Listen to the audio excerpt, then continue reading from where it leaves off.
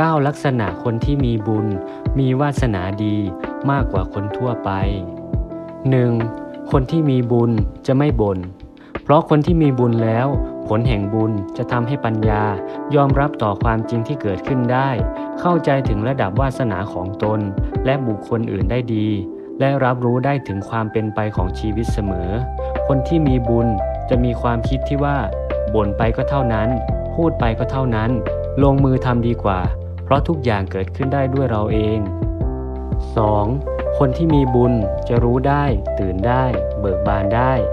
ผลบุญจะแปลสภาพให้กลายเป็นผู้รู้ ผู้ตื่น ผู้เบิกบาน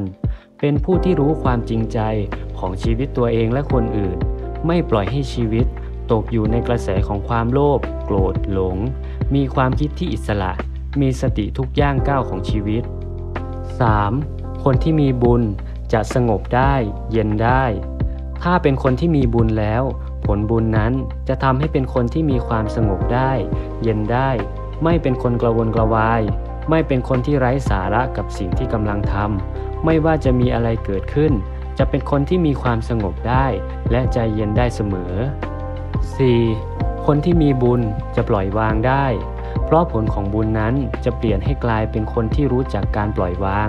ไม่เป็นคนที่แบกรับทุกอย่างไว้คนเดียว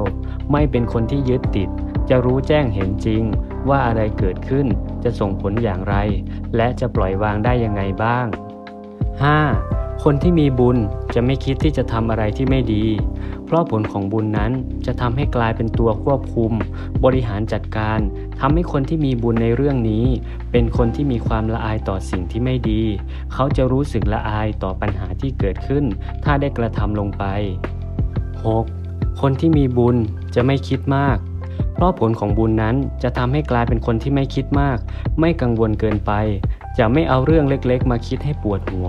เป็นคนที่สะอาด มีความสว่างอยู่ในตัวเสมอ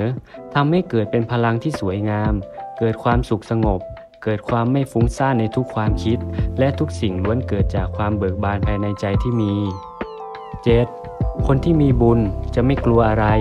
เพราะผลของบุญนั้นจะทำให้เป็นคนเข้มแข็ง กล้าหาญทำให้ไม่หวั่นไหวต่ออุปสรรคใด ๆ ไม่หวั่นต่อปัญหาที่เกิดขึ้น เพราะมีความมั่นใจมากพอ 8. คนที่มีบุญจะเป็นคนที่คอยได้ รอได้ เพราะผลบุญนั้นจะแปลสภาพให้เป็นคนที่มีความใจเย็น มีความยืดหยุ่น ไม่ใจร้อน ไม่วู่วาม มองเห็นถึงโอกาสดีๆ ของชีวิต 9. คนที่มีบุญจะอดทนเก่ง เพราะผลบุญนั้นจะทำให้กลายเป็นพลังงาน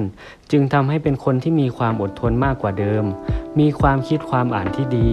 ไม่หวาดวันต่ออุปสรรค และทุกสิ่งทุกอย่างที่ดี ๆ มันจะเกิดขึ้นได้จากความอดทนเสมอ